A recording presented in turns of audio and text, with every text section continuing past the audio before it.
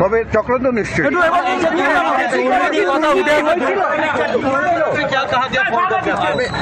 এদিকে এদিকে দাদা এদিকে इनको फोन सीज किया है जो जो यह कानून है जो ये खुलने का टाइम ये हाज- हाजिर होने होता है ना हमारा जो फोन हमारा दो बेटी का दो, दो फोन सीज किया है দীপ্ত দা জি করে দুর্নীতি হয়েছে আপনি জানেন দুর্নীতি হয়েছে আপনি তদন্ত করছে। সুদীপ্ত বাবু হ্যাঁ। আর জিকর হাসপাতালে কেনা জিনিসপত্র কি আপনার নার্সিংহোমে যেত? না না না। দুর্নীতি হয়েছে। দুর্নীতি হয়েছে? সিবিআই তদন্ত করছে। সেখানেই প্রকাশ হয়ে যাবে।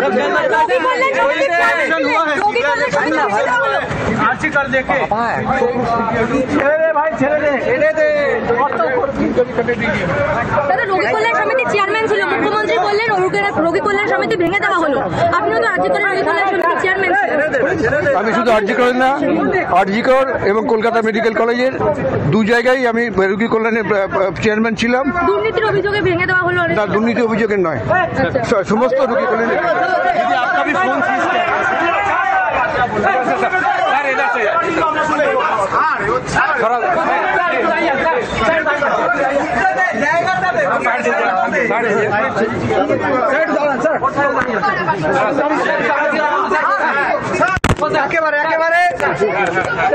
Sudipta Sudipta Roy CGO complex ED দপ্তরে এসছেন।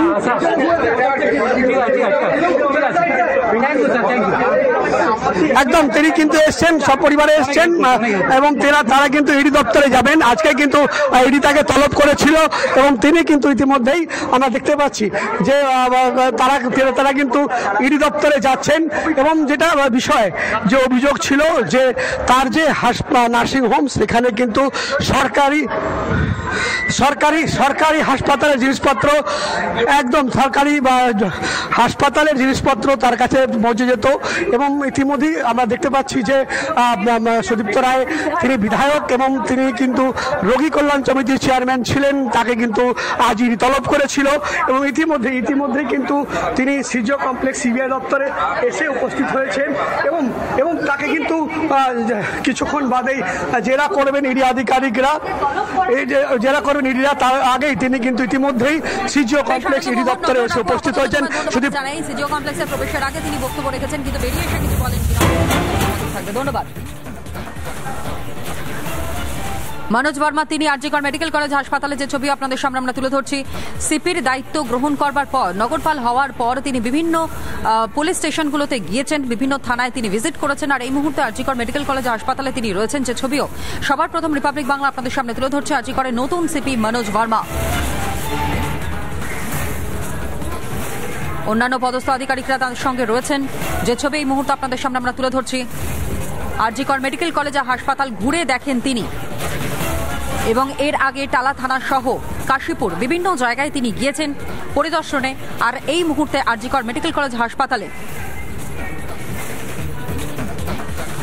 পুলিশ কমিশনার পদে দায়িত্বভার গ্রহণ করবার পরেই প্রথম তিনি আরজিকর মেডিকেল কলেজ হাসপাতালে গিয়েছেন এবং আরজিকর মেডিকেল কলেজ হাসপাতাল ঘুরে দেখছেন তিনি যে ছবিও লাগাতার আপনাদের সামনে আমরা তুলে ধরছি, দেখতেই পাচ্ছেন। এই আরজিকর মেডিকেল কলেজ হাসপাতালে আপনারা জানেন, ইতিমধ্যে সিআইএসএফ মোতায়েন করা হয়েছে ভেতরের নিরাপত্তা এবং সুরক্ষার জন্য। কিন্তু বাইরের আইন শৃঙ্খলা পরিস্থিতি সবটাই কিন্তু পুলিশের হাতে, অর্থাৎ রাজ্য পুলিশ এবং কলকাতা পুলিশের হাতেই রয়েছে।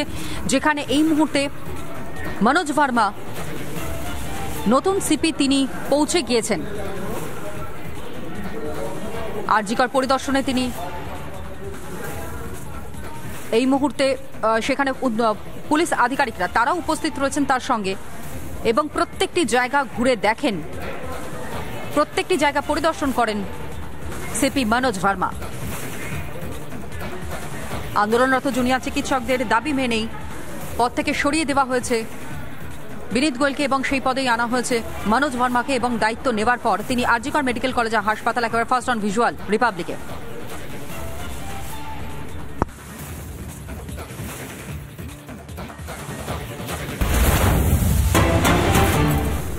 আর এদিকে পাশকুড়ায় সেখানে জলমগ্ন পরিস্থিতি পরিদর্শনে মুখ্যমন্ত্রী মমতা বন্দ্যোপাধ্যায় গতকালও তিনি বন্যা কবলিত এলাকা পরিদর্শন করেন। সেখানকার মানুষজনের সঙ্গে কথা বলেন বানভাসীদের সঙ্গে এবং আজ এই মুহূর্তে পৌঁছে গিয়েছেন পাশকুড়ায় সেখানে জলমগ্ন পরিস্থিতি। নিজে পরিদর্শনে গিয়েছেন মুখ্যমন্ত্রী।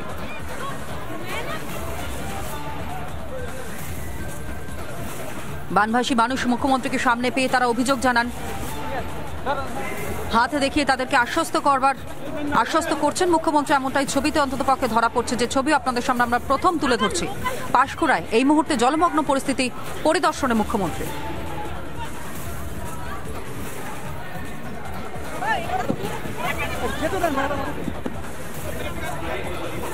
সাধারণ মানুষে তারা তাদের অভিযোগ জানাচ্ছেন মুখ্যমন্ত্রী মমতা বন্দ্যোপাধ্যায়কে। পরিদর্শনের পর মুখ্যমন্ত্রী কি জানিয়েছেন শোনাই।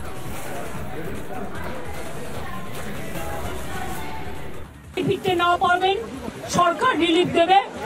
আপনাদের যা সাহায্য করার করবে, এটা ঝাড়খণ্ড জল ছেড়েছে এবং ডিবিসি কেন্দ্রীয় সরকারের সংস্থা, আমার মনে হচ্ছে চার লাখ কিউসেককে ছাড়িয়ে গেছে। যা কোনোদিন জীবনে হয়নি। পুরো চক্রান্ত মানে এটা পূর্ব পরিকল্পিত এবং এটা পরিকল্পিত বন্যা। এটা আমাদের বৃষ্টির জলে বন্যা নয়। বৃষ্টি হয়েছে তিন চার দিন, কিন্তু এটা ম্যান মেড প্ল্যান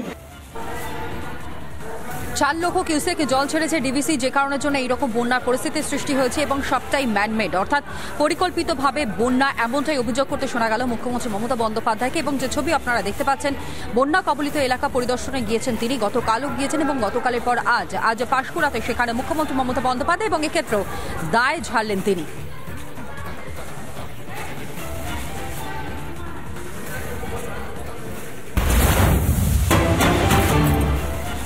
অন্যদিকে বন্যা পরিস্থিতি পরিদর্শনে যান মিতালি বাগ।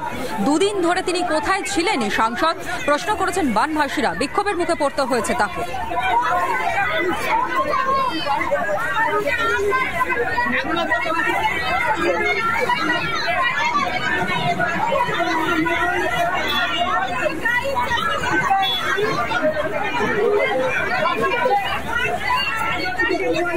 বিক্ষোভের মুখে আরামবাগের সাংসদ বন্যা পরিস্থিতি পরিদর্শনে যান মিতালি বাগ এবং তখনই তাকে ঘিরে ধরে বিক্ষোভ দেখান বানভাসীরা। দুদিন ধরে তিনি কোথায় ছিলেন? সাংসদের দেখাই পাওয়া যায়নি। মিতালিকে ঘিরে প্রশ্ন এলাকাবাসীর। শুনুন। উনি যে নিয়েছেন এখানে যে পরিস্থিতি কোনো মানে যে ওপর যে উপরওয়ালা লোকেরা কোনো বন্যার সময় যখন এখানে ভেঙে যায় মানে ভাঙার পরিস্থিতি হয়ে গেলে কেউ একটা দেখতে আসেনি। তাহলে বস্তা বালি বাড়ি কিছু সাপ্লাই নেই?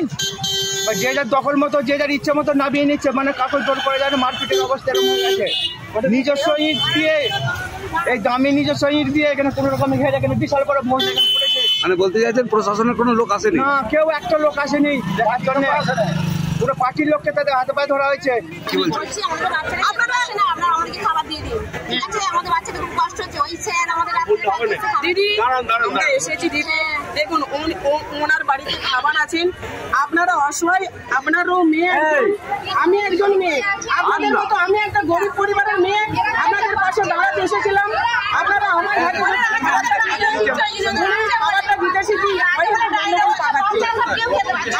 এদিকে আসুন আপনারা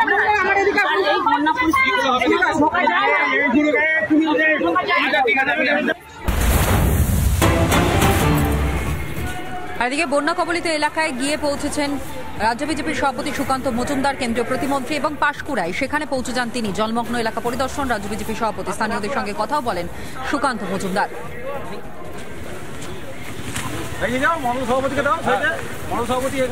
বন্যা কবলিত এলাকা এবং সেখানে পরিদর্শনে যান সুকান্ত মজুমদার। বন্যা কবলিত এলাকা পরিদর্শনের পাশাপাশি বানবাসীদের সঙ্গেও কথা বলেন তাদের। অভাব অভিযোগের কথা শোনেন সুকান্ত মজুমদার।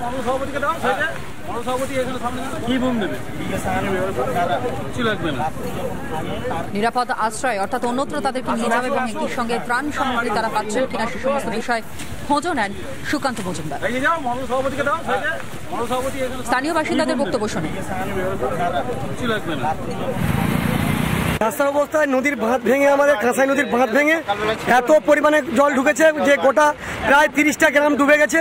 জলের তলায় যেতে পেতে আমাদের যে ফার্নিচার ন্যাকড়া যে ফার্নিচারের কাজ হয় সে কারখানা ডুবে গিয়ে সব মিস্ত্রি বা কর্মী মালিকগুলো টেনশনে পড়ে গেছে। এখন পাঁচকুড়া হাইওয়ের উপরে জল। এখন আমরা কি করব খুঁজে পাচ্ছি না সব পালঙ্ক আমাদেরকে বের করতে হচ্ছে। আমাদের পরিস্থিতি এতই খারাপ। গ্রামে প্রচুর মানুষ জনবন্ধিত হয়ে আছে পেঁয়াজ সবজি কিছুই পাওয়া যাচ্ছে না। অবস্থা খারাপ একদম। টানা বৃষ্টিতে জলমগ্ন উদয়নারায়ণপুর। প্লাবিত একের পর এক গ্রাম আমতা। উদয়নারায়ণপুর রাজ্য সড়ক পুরোপুরিভাবে জলের তলায় চলে গিয়েছে। প্লাবিত আমতা দু নম্বর ব্লকের পাঁচটি গ্রাম। যে ছবি আপনারা দেখতে পাচ্ছেন, একবার টপ ভিউ আপনাদের সামনে। ঠিক ঠিক করছে জল। বন্যা কবলিত এলাকায় অন্যদিকে পরিদর্শনে যাচ্ছেন বিভিন্ন সময় সাংসদরা, বিধায়করা, কিন্তু সেখানে গিয়েও কার্যত ক্ষোভের মুখে পড়তে হচ্ছে। রাস্তাঘাটে সম্পূর্ণভাবে জলের তলায় চলে গিয়েছে। যোগাযোগ ব্যবস্থা কার্যত বিচ্ছিন্ন হয়ে গিয়েছে, এমনকি ত্রাণ সামগ্রী বিভিন্ন জায়গায় এখনও পর্যন্ত পৌঁছচ্ছে। যেমনটা তারা বলছেন, বসত বাড়ি সেখানে পর্যন্ত কোমর সমান জল। যে ছবি এই মুহূর্তে আপনাদের সামনে, উদয়নারায়ণপুর, এবং সেখানে কার্যত ঠিক ঠিক করছে জল বন্যা কবলিত এলাকা পরিদর্শন অন্যদিকে মুখ্যমন্ত্রী।